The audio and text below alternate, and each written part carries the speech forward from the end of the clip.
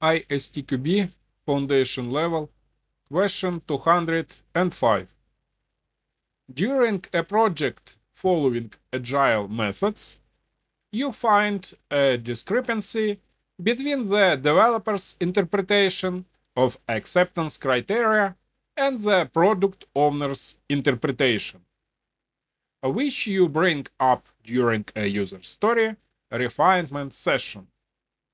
Uh, Which of the following is a benefit of test independence exemplified by this situation? A. Recognizing different kinds of failures.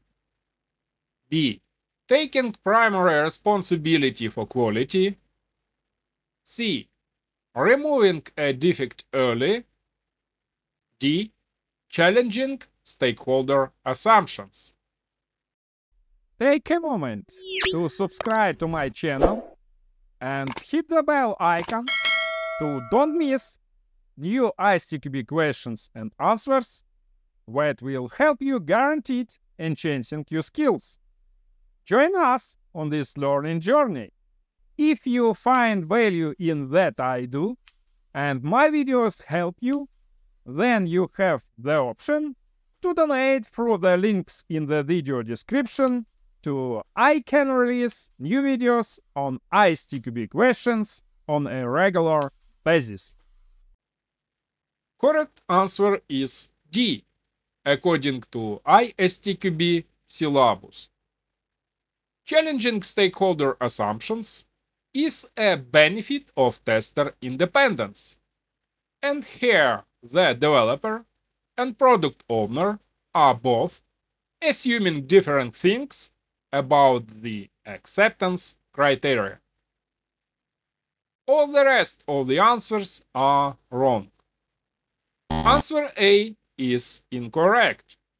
While recognizing different kinds of failures is a benefit of tester independence, in the scenario here, no code yet exists that can fail. And the problem is that the developer and product owner are both assuming different things about the acceptance criteria. Answer B is incorrect. Developers losing sense of responsibility for quality is a drawback, not a benefit. Answer C is incorrect.